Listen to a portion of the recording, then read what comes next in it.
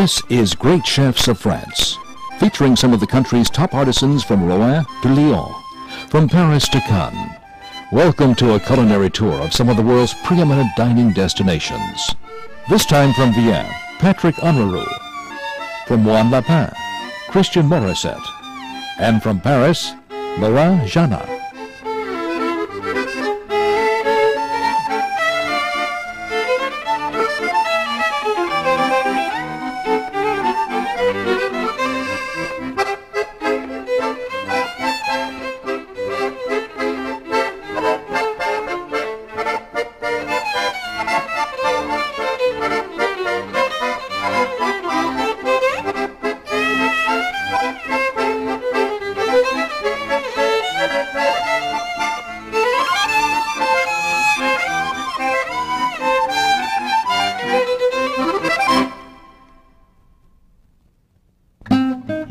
La Pyramide restaurant in Vienne is a fabled dining destination in France. It's said that in the 50s, the late owner, Fernand Point, loomed larger than any other restaurateur in France. The Michelin two-star restaurant is now in the hands of Patrick Henri Roux. Here is salad with lobster rigatoni. The chef begins by cooking the lobster for four or five minutes in vegetable bouillon, white wine, carrots, onions, and a bouquet garni. Un bouquet garni, des oignons pour donner du goût donc euh, à ce bouillon et je vais plonger donc mon homard dedans pour la cuisson.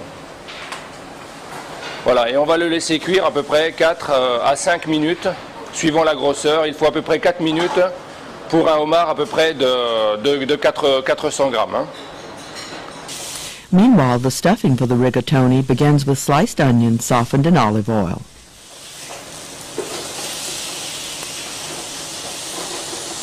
Voilà, donc là on va pouvoir ajouter le bouquet garni, les gousses d'ail. Then whole garlic cloves and a bouquet garni.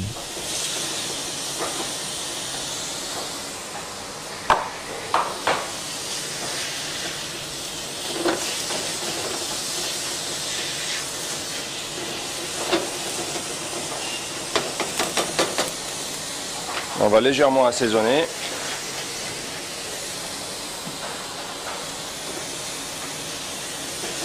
Alors une fois que ces oignons sont bien compotés, on va, va-t-on dire, on va ajouter en dernier la julienne de piment doux, Julienne of bell pepper.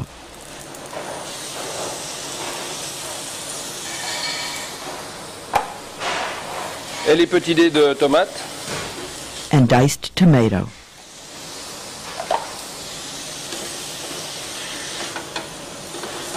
Alors il ne faudra pas avoir peur de bien euh, graisser tous ces légumes avec un petit peu d'huile d'olive. This cooks slowly for 18 to 20 minutes with the chef adding olive oil along the way. Eventually, the mixture will resemble marmalade in consistency. Some curry powder is added. Pour terminer cet assaisonnement, on va ajouter une petite pointe de curry madras qui nous permettra de relever un petit peu le- l'ensemble de la julienne. On va préparer After the mixture has cooled, it's stuffed into cooked rigatoni pasta.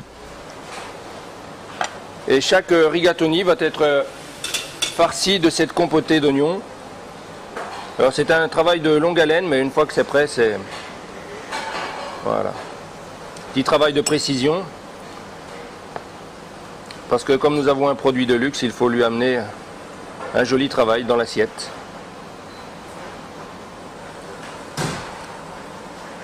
Voilà, donc chaque rigatoni va être The cooled lobster tail is sliced into medallions. le homard,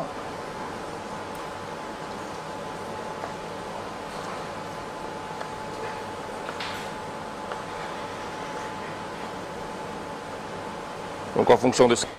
The lobster is seasoned with salt, pepper, and again curry powder.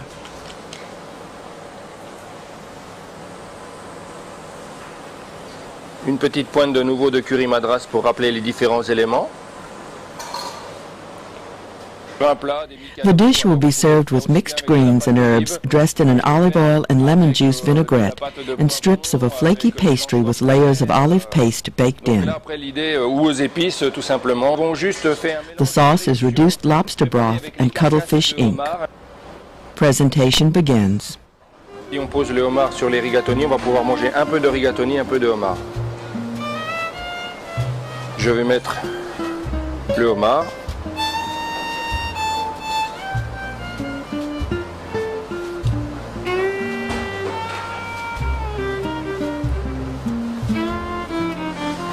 Donc on va avoir un plat quand même qui va être euh, The chef says that this is a spicy, tasty dish that can be served in the summer or the winter and represents a nice balance of texture with the rigatoni pasta and vegetable confit. possède aussi bien des légumes euh, verts, va-t-on dire, mais aussi euh, des féculents avec les pâtes. Et on aura en même temps le fondant, le moelleux et le croquant.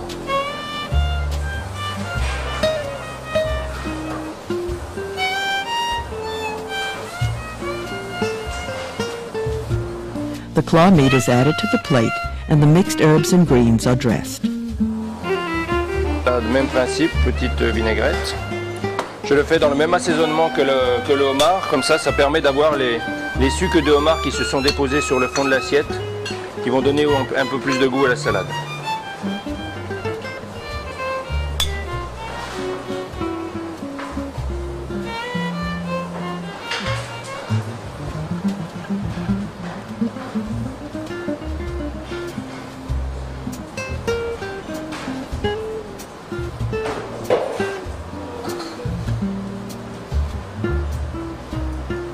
Alors on peut faire en fonction de cette salade, en fonction de, de la saison, des, des herbes que l'on a. Bon, il y a même des cœurs de céleri en fonction si on est en début d'hiver. Là, on a, on a beaucoup, de, beaucoup de choix. Donc après, je vais retirer le moule. The sauce was spiked with a couple of shots of Tabasco sauce. L'assaisonnement.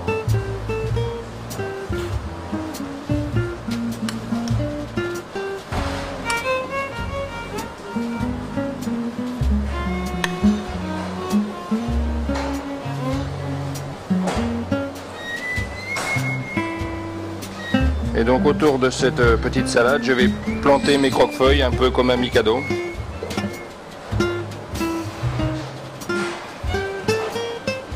Voilà, donc on a en même temps, si vous voulez, le côté féculent de la pâte, le côté légumes verts avec les piments doux, les oignons. On a le croustillant avec la pâte feuilletée et l'olive. Et on a ce côté très fondant du homard. Donc on a un mélange de textures, de goûts euh, et d'associations qui peuvent être vraiment très très intéressantes.